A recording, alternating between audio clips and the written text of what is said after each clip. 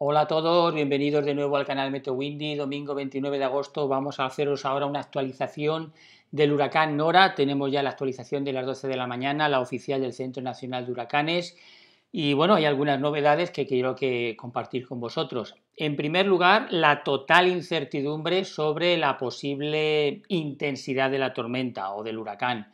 ¿Por qué decimos esto? Fijaros que incluso en su boletín anterior, el Centro Nacional Huracanes dijo que sus mm, pronósticos sobre la intensidad eran poco confiables, dijo así con esas palabras, demostrando que ellos mismos tienen muy poca certeza de qué es lo que puede ocurrir debido a la complejidad de la trayectoria por la que está pasando ahora mismo el huracán Nora. Como estáis viendo ahora mismo se ve perfectamente cómo entró en tierra por la zona de Jalisco, luego salió otra vez de nuevo al mar, Luego, fijaros cómo ha estado prácticamente de nuevo rozando tierra y mirad ahora, es muy interesante esta imagen, esta es la última que tenemos en Mazatlán, ahí lo tenéis, en Sinaloa, ha entrado o por lo menos ha tocado tierra en esa zona, no sabemos si ahora seguirá el curso de tierra adentro o si por el contrario saldrá de nuevo hacia las eh, aguas del Pacífico, pero el caso es que ahora mismo ha entrado en Mazatlán, con vientos de 121 km por hora, según el registro que tenemos de hace 19 minutos,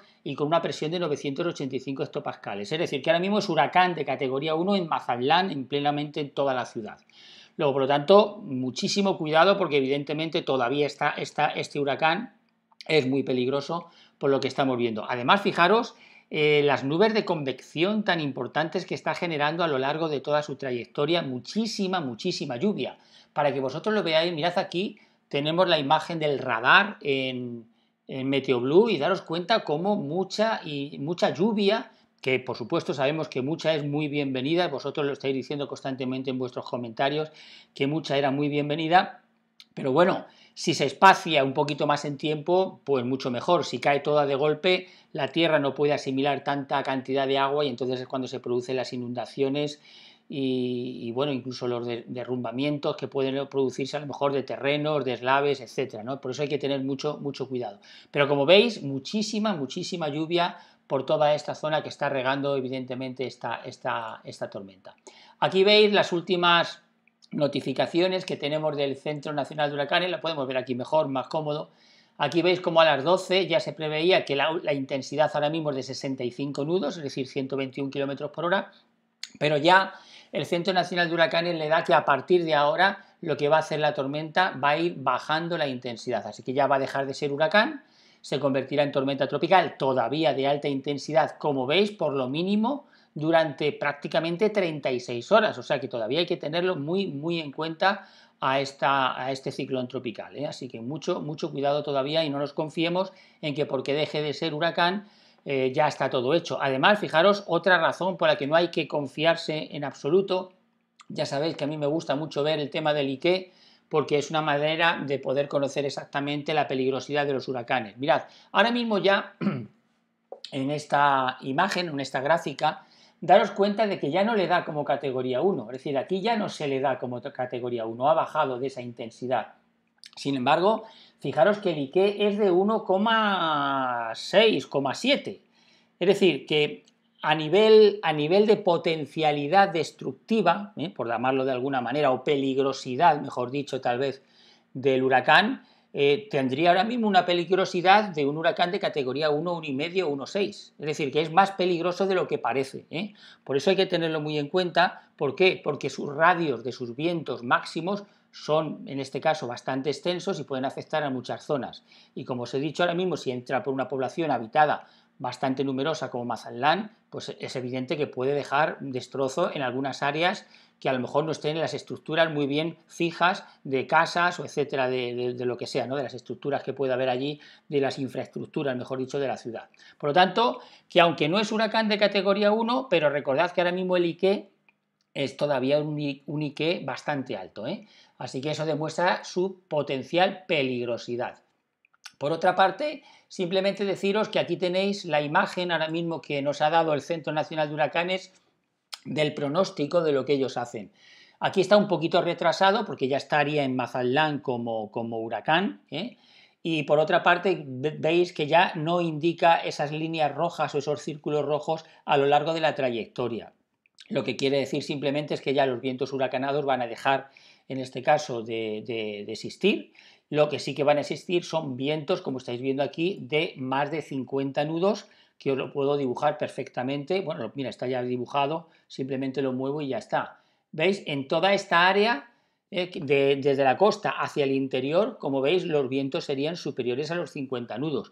Luego, por lo tanto, mm, muchísimo, muchísimo cuidado, porque todavía, como os he dicho, esta tormenta no ha dado su última palabra y todavía puede dejar destrozos en algunas zonas, a lo mejor, donde las infraestructuras, como os he dicho, no estén muy bien sólidas y establecidas. Luego, por lo tanto, a tenerlo muy en cuenta. Por otra parte, si quitamos esto y vemos lo que dice aquí el Centro Nacional de Huracanes en su último pronóstico, es lo que hemos dicho antes. Lo máximo que le da ahora para las próximas mm, horas sería mantenerse como 65 nudos y luego ya a partir de eso ya bajaría los 60 nudos y luego después posteriormente llegaría a los 55, 55 a medida que va por la costa como estáis viendo de Sinaloa. Otro detalle que quería mostraros también es que me ha llamado mucho la atención el modelo ICON, la manera tan, tan, tan hábil que ha tenido para, seguir esta tormenta. Mirad, si pongo yo las rachas de viento, mejor la acumulación de viento, fijaros cómo el modelo ICON eh, prácticamente ha seguido fielmente eh, la trayectoria de la, del huracán eh, Nora.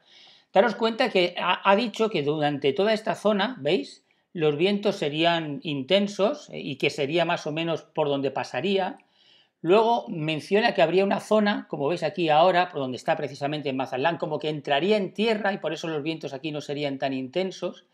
Y luego dice el modelo ICON que probablemente de nuevo salga otra vez, ¿ves? Salga otra vez al Golfo de California, al Pacífico y se podría otra vez intensificar. Es para que veáis lo complejo que puede ser el pronosticar tanto trayectoria como como lo que es la intensidad. Pero de todas las maneras el modelo ICON nos hace ver de que ahora que ha entrado en tierra en Mazatlán probablemente pierda un poquito de intensidad, pero no hay que descartar que pudiera salir para luego recuperar otra vez un poquito más de intensidad. Así que por lo tanto, muy pendientes de, esta, de, este, de este huracán. Y luego, por otra parte, ya habéis visto las lluvias eh, que se estaban generando, que eran muchas, muy, muy, muy cuantiosas. Bueno, pues recordaros que las lluvias que se esperan son muchísimas para los próximos tres días. Ahí tenéis, por ejemplo, lo vamos a poner mejor en milímetros, 270 milímetros, en la zona de la costa 160, 160, es decir, prácticamente entre 100 y 200 litros o 200 milímetros es el agua que se espera. Para hoy, para Mazatlán, lo he estado viendo en Meteo Blue, y solamente para hoy, para, para la ciudad de Mazatlán, 120 eh, litros esperaban. Así que eh, es para que veáis la intensidad de las lluvias que está dejando este huracán y que por lo tanto mucho, mucho cuidado con, con él. Así que nada más, espero que este vídeo de nuevo os haya servido para ver un poquito cuál es la situación. Ahora mismo todavía es huracán de categoría 1, todo indica que va a bajar a tormenta tropical pronto, pero una tormenta tropical intensa dejando muchas lluvias. Hasta próximos vídeos.